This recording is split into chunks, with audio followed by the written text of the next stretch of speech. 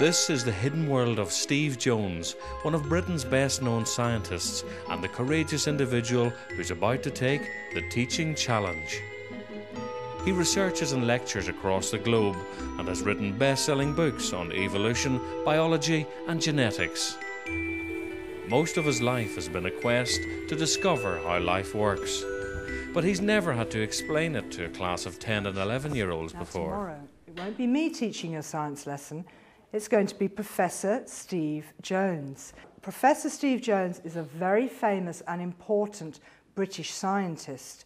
So you're going to have a real scientist in here tomorrow, which is very exciting. He's going to be teaching you about genetic diversity, which is the differences and similarities between humans. So possibly before tomorrow, as a special homework assignment, see what you can find out about Professor Steve Jones and what is genetic diversity. Find out what you can. It's not a subject we've looked at before. Right, children, please put your books into a pile and prepare for your maths lesson. Meanwhile, on the Marlborough Downs, Steve searches for his weapons of choice for the lesson on genetic diversity.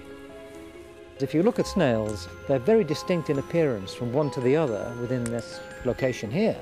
You can pick up 30 or 40 different kinds. And from place to place, they look very different. And of course, so do we. People look very different, and as we'll see with the class, um, if you look a bit harder, there's all kinds of hidden differences among, uh, among people you may not be aware of. Well, I hope that the Year 6 class will get out of my lesson the idea, think overwhelmingly, is that science is fun. That's what I hope to be able to do. He may well want the session to be fun, but will Steve measure up to the expectations of Mrs. Green's science class? In cartoons, scientists are made out to be really bad, but in real life they're good because they're trying to cure asthma when people are suffering, especially in the hay fever season. A good scientist will try and find a cure for a disease by thinking out their ideas, writing it down, and then most importantly, testing out their ideas. If their idea works, they've found the cure for the disease. If their idea doesn't work, then they have to go back and think up a new idea and test it out and test it out until they find it. A bad scientist would try to take over the world and destroy land, and they would have an evil laugh. Anxious not to disappoint, Professor Jones talks through his lesson plan with Fiona Green. Children will be interested. My concern is whether my technique of teaching, which in common with many other professors is to stand in front of a large class and pretend, pretend to be mad, um, whether that's going to work in this context. Well, I think that will be very interesting to see what the children's reaction will be. And they're very, very excited about the prospect of meeting a real scientist. So, how much do they know about biology in general? I haven't talked to them very much about, we've talked a little bit about genetic diversity. They didn't really have a clue, because obviously it's not an area that we No. would particularly cover. But they are very interested in snails and creatures, so I think that they will, they will be quite excited about anything like that. What I find fascinating is I can talk about um, uh, sex in quite a graphic way to sixth formers. Um, I mean, it's scientific, but it's reasonably graphic. The shyest and perhaps the most religious of all kids will just sit there and listen with interest, okay?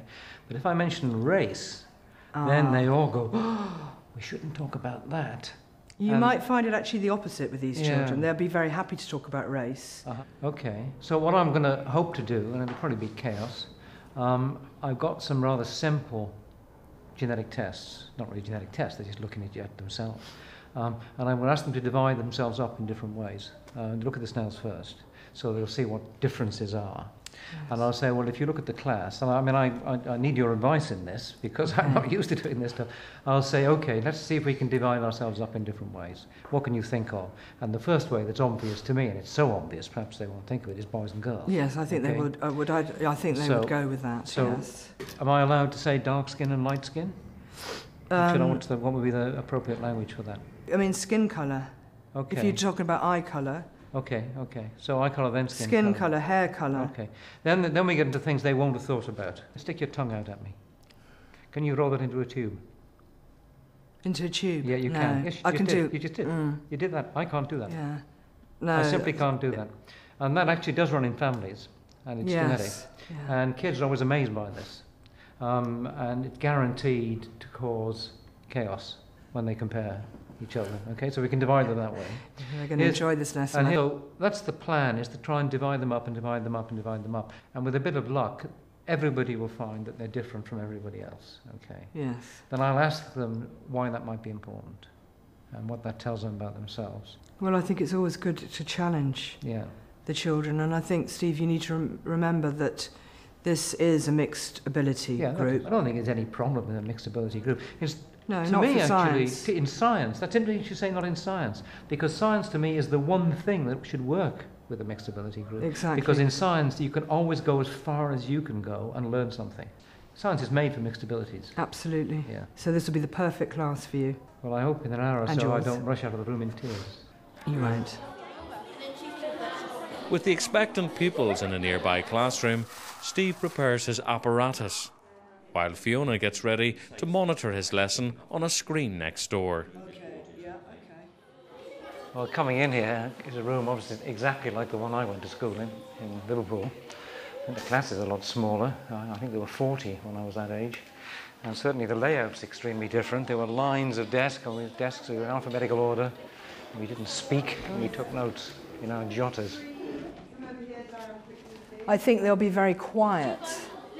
I think they'll kind of be in awe because we often talk about real scientists.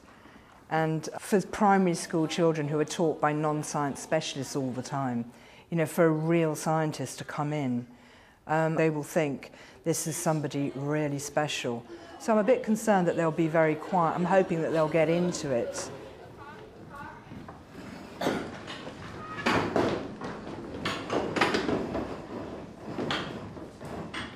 Good. Well, um, I'm Steve Jones. I'm a geneticist, a biologist from University College London, and I've been given the rather scary task of giving you people a lesson about my subject. So that's what we'll be talking about. We'll be talking about um, genes, inheritance, uh, differences between people, differences between other kinds of creature, even. Must have heard of these things called G E E N E S, genes. Can you tell me what a gene is? Um, some of them might be thinking about blue jeans. Um, isn't genes like the difference between somebody like people have different kinds of genes? Yeah, that's, that's also true. Anybody else got any, any ideas, anything they know about genes? You seem You to know. should know. Some of you. What, what do you think about genes? Um, is it like the difference between like living things? Yeah, that's another good way of putting it. And in fact, that's what we're going to be doing today, is talking about differences, all right? Now, I actually have spent many, many years looking at differences in a kind of animal that many people don't think about, and some people don't even like, and that's actually snails. And here we've got some snails we actually collected yesterday out in the countryside, and I'll put some on each table for you. See? And you just look at them and tell me whether you Okay, that's good. you shouldn't bite them because they've got nice little personalities of their own. All right, what else can we say about them? Go on, just pick it up. Pick it up. Steve's snails are proving very popular, but will his pupils' delight translate into learning? If you look at them, you'll see they've got little pointy things on their heads, okay? This is me being a snail. Let's get Yes, mine's coming. And actually, amazingly enough, if you look at them hard, they're, Oh, they're picking them up. let it crawl on your hand. Let, let's look at the snails we've got on our table, okay? And let's see if we can see any differences between them. See if you can sort them out into groups which are different from each other. Okay? Some of them are the same. How's that one different from that one? Good questioning. How are they different? Wait, don't we. What do we, what have we learned about looking at these snails? They're not listening to you, Steve. Different genes, different colours. Slimy. They all come from a little patch of ground, not much bigger than this room.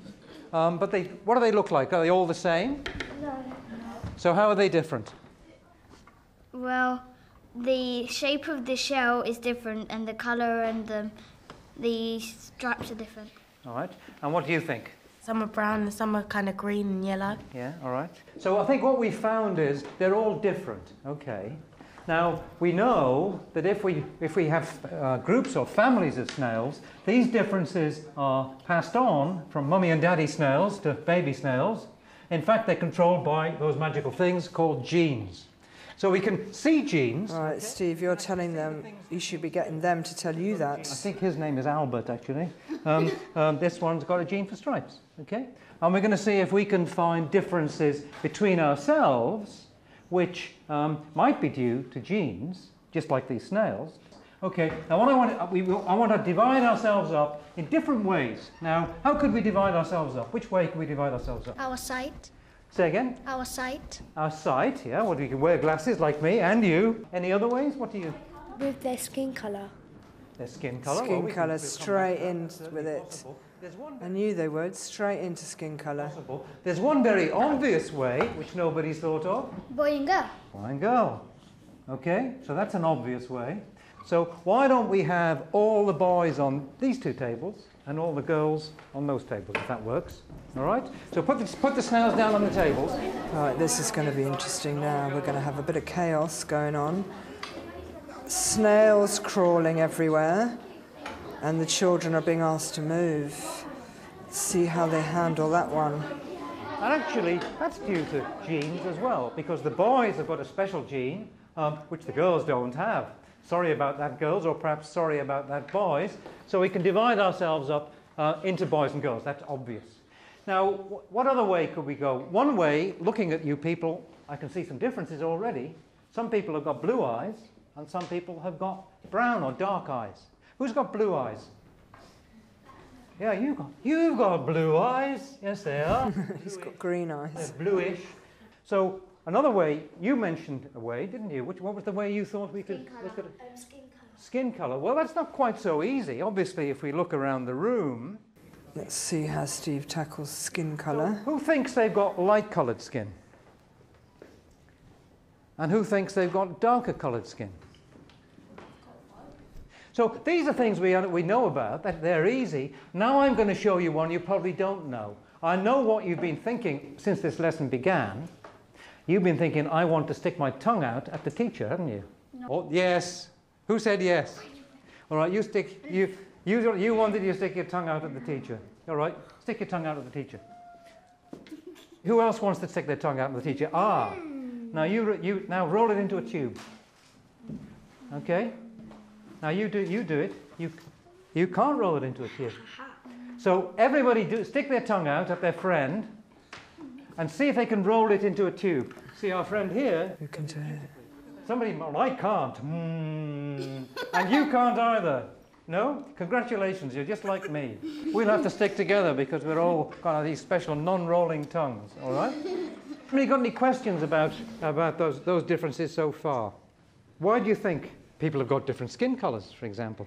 Why? And now he's getting to the point. Now they're going to get. Now they're going to take it on board. My dad's black and my mum's white, so Uh-huh. I've got both. So you've got both. What do you think? There's like different uh, differences in the um, not the organs but the cells in the body. So there's differences in the cells in the body. Does anybody know what those differences might be in your skin cells? We're a bit like snails, really, because some of us are dark and some of us are light. All right, he's dealing with this in quite a good way. It's quite a difficult subject here. Stripes on the snails. And that's amazing, isn't it? These, these snails have got exactly the same chemicals in their skin as we all have, but some of us have more than others, okay? So that's something we share with snails.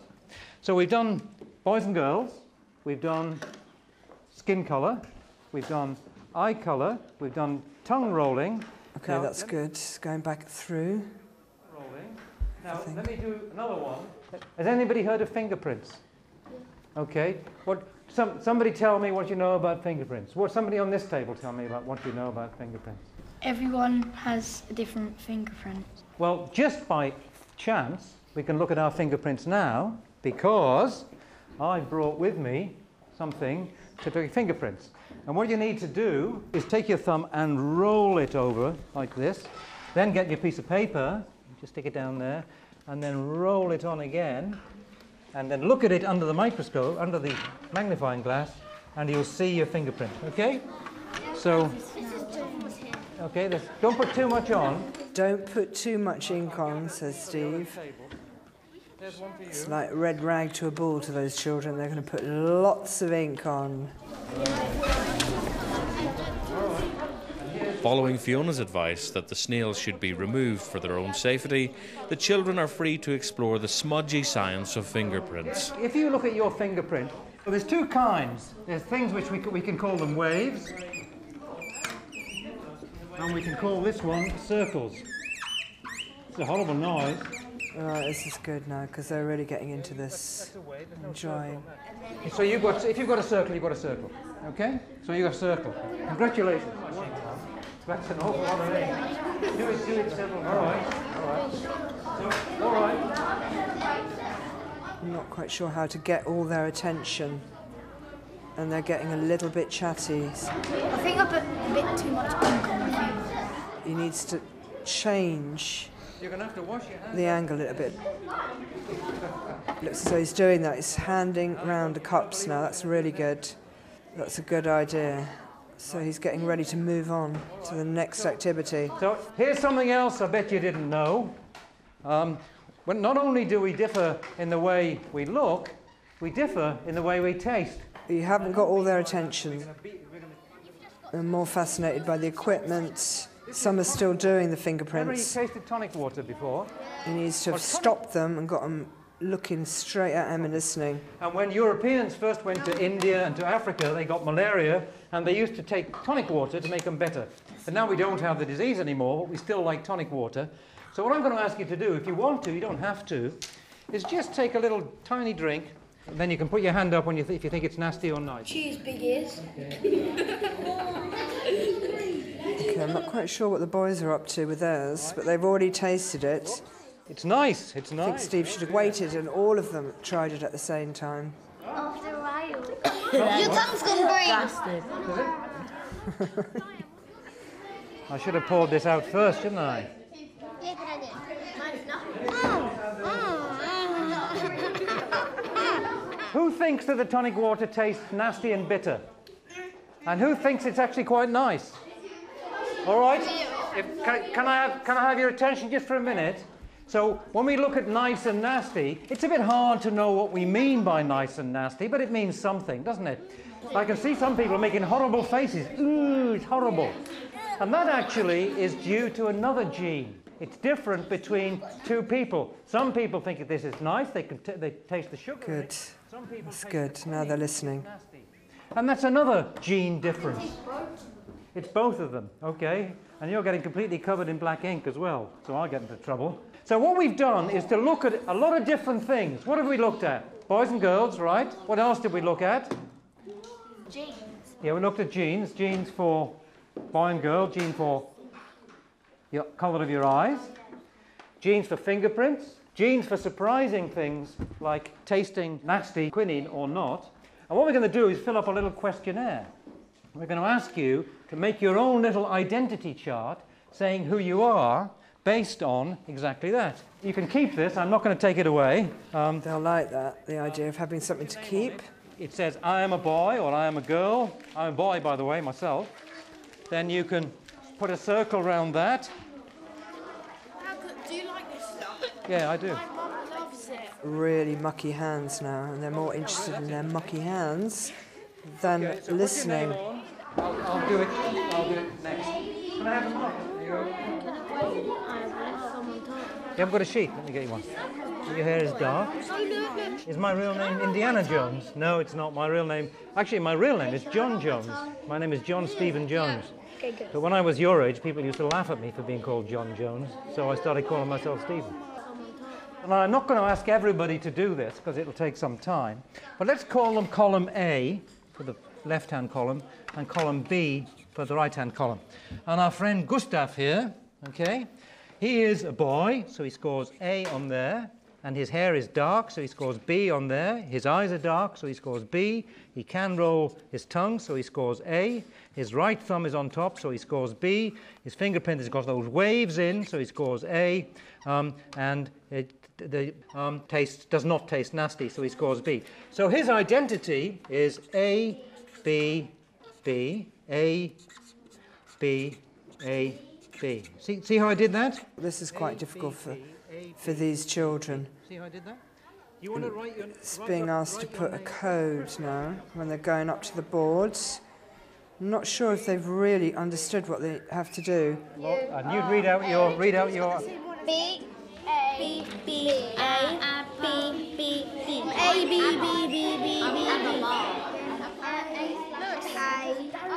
I'm linked to ABBA. They seem to know what they're doing now. Well, that's quite a good strategy. Now he's gone back to the children that are still seated. This lesson's so cool. put yours up. So let's go back to our desks now. You can have the snails for class pets when we finish. Oh, I'm not sure about that, Steve. I'm not sure what we're going to do with snails. I don't think that um, Mrs. Gunning will be too happy if all the snails are let loose in the school garden. So what this tells us is that we're all different. Just like those snails, we're actually different from each other. Why do you think it might be important for you to know what your own genes are? Ah, it's good. Now, now it's coming together well.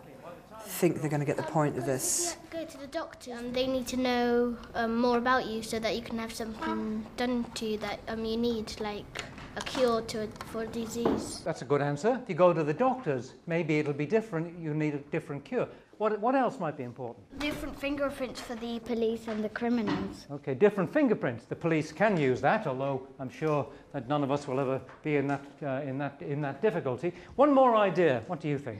Different taste buds. different taste buds. Some things taste nice and some things taste nasty. And actually, one of the amazing things we've found in the last two or three years is that every one of us tastes food in a different way.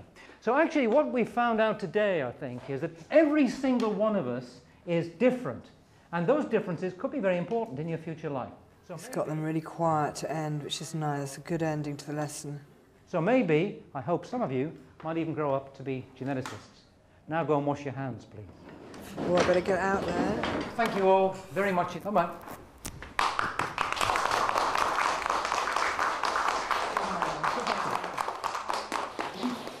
How was it? More fun than teaching students, I'll tell you. My students. Oh, great. Yeah. While Steve catches his breath, Mrs. Green hears what the class thought of the professor's lesson. Let's have you sitting quietly for a moment. How was that lesson? Enjoyed it. Because normally we have like you or Miss Fahy in the room, and it's actually kind of just weird. It was because he taught us differently to a teacher.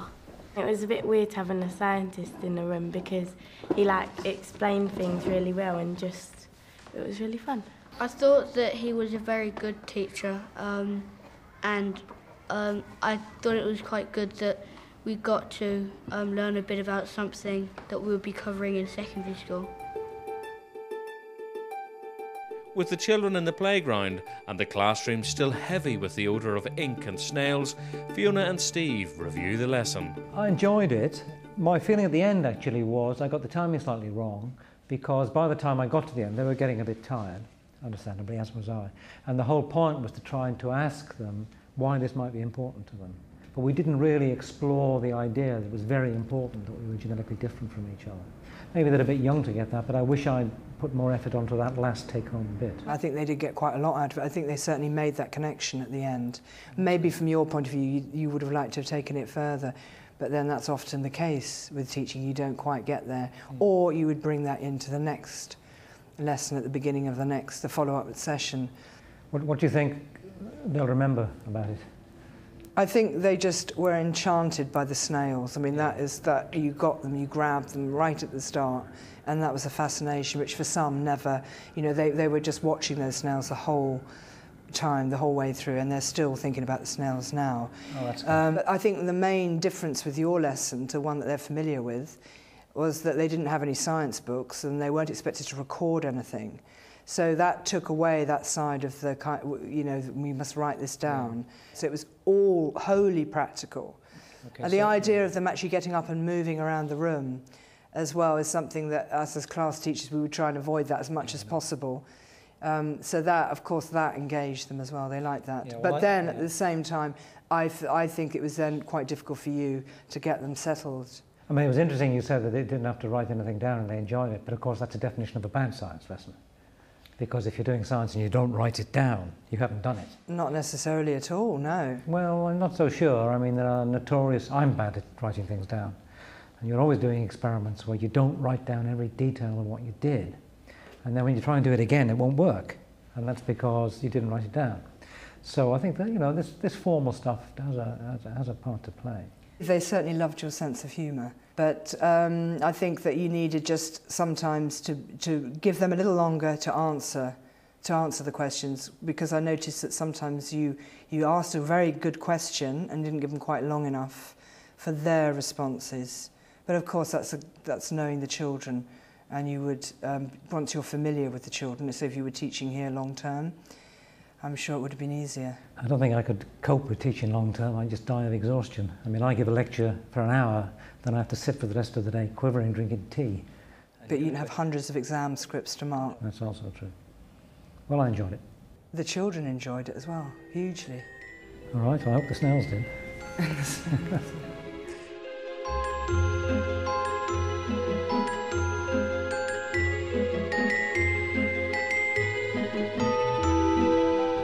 I think the attraction of talking about science to younger children, for them, everything's new. In many ways, they're still real scientists. But I think it's worth reminding ourselves that science is fundamentally an infantile pastime.